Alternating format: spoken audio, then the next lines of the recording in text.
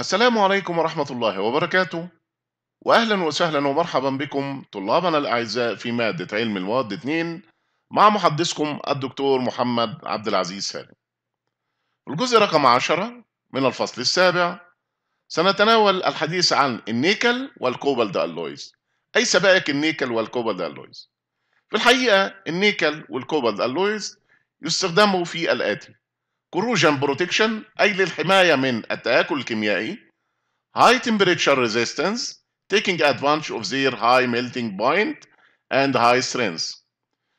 أي أنه يستخدم في المقاومة أو الاستخدامات التي تتحمل درجات حرارة عالية أي أنها تقاوم الحرارة العالية. وهذا راجع إلى أن درجة انصهار هذه المواد عالية وال strength أيضا لها عالية. يوجد في الحقيقة الأمر. مجموعة أيضا أو عائلة من عائلات النيكل والكوبالت تسمى بالسوبر ألوي. وسوبر ألوي أي السبائك الفائقة الخواص.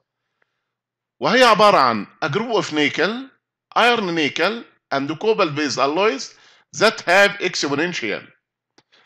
هذه العناصر أو هذه المجموعة في الحقيقة هي عبارة عن مجموعة النيكل أو مجموعة ال iron مع النيكل أو مجموعة ال cobalt based alloy وهي لها صفات استثنائية كالآتي heat resistance أي أن صفاتها مستقرة حتى عند درجة حرارة عالية وبالتالي هي تقاوم الحرارة.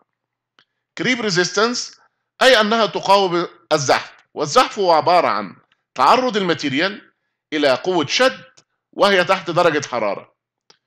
وآخر شيء انها كروجن ريزيستنس أي أنها تقاوم الإيه؟ التآكل الكيميائي.